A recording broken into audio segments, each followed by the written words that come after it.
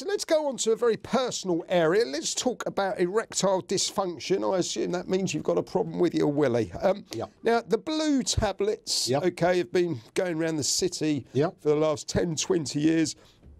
I'm sure that, dare I say it, some of my friends use them for the wrong reasons, all right? Is that dangerous? It's not actually dangerous. I think they're a great uh, improvement for people, and uh, you know everyone wants to have a fun and active sex life. Yeah. Uh, I was lucky enough to see some of the early researchers on Viagra, and what happened was that uh, they were trying to improve uh, blood flow through the heart, and the trial participants kept coming back, which they didn't normally do.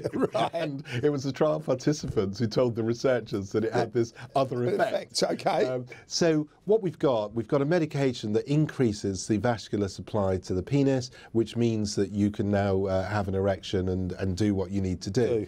Unfortunately, the reason that people tend to have a problem Yep. is related to damage to those vessels over time. Some of that damage is caused by smoking, interestingly enough. Right. So uh, when you first have a problem with erectile dysfunction, it can be a clue to other problems in other parts of the body. So that's why it's wise to have So a this basic could be an this is like an early Could be. signal. Could be an early warning signal. So it's a good reason to have a checkup with your doctor Yeah. uh, before, rather than just starting the tablets, and then the doctor can check whether it's safe for you to take the tablets. Yeah. And after that, you take the tablets to ensure that you have a normal sex life. But Dr. Charlie, okay, I'm pretty open, pretty Yep. straightforward. We've gone through a whole number of areas, okay. Mm-hmm. I think I would have difficulty going to a doctor, going, Doctor, I've got a problem with my willy.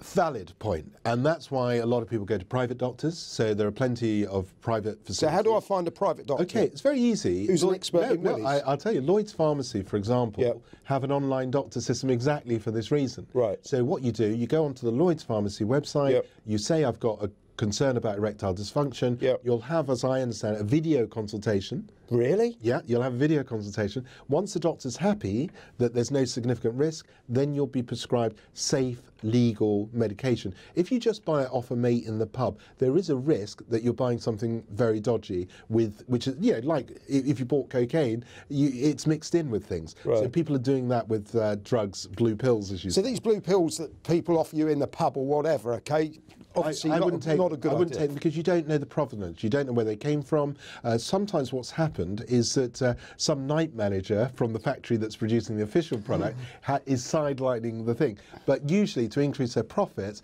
they're mixing it with something else, and this, it's a something else that may cause you uh, side effects that we don't even know. Right.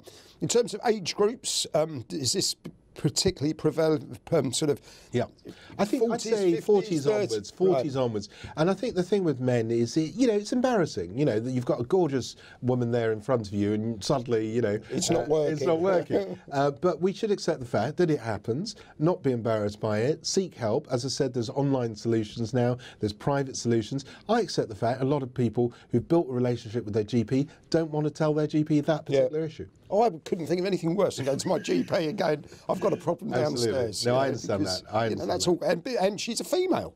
Well, that's another issue for men as well. I think that um, what we as guys need to do, we need to find ways that we can have these medical conversations, whether it's testicular cancer, whether it's other issues. Uh, we need to have those conversations. Women are great because they have those conversations on a regular basis. We as guys are often too embarrassed to have them. And we shouldn't be embarrassed, should we? Because the doctors have been there, seen it, done it, and are on Absolutely. our side, I guess. Absolutely, and you know, um, uh, the average GP has limited time. Uh, there is problems booking in. You require half a day off work. So I do understand those reasons that people also wouldn't go to their GP. And you wouldn't want to tell your work colleagues. Absolutely, but as I say, online pharmacies, legitimate online pharmacies, will provide a solution for people. Understood. Dr. Charlie Easmon, thank you so much for your time today. That wraps Liz. up Tip TV Health for today. Thank you.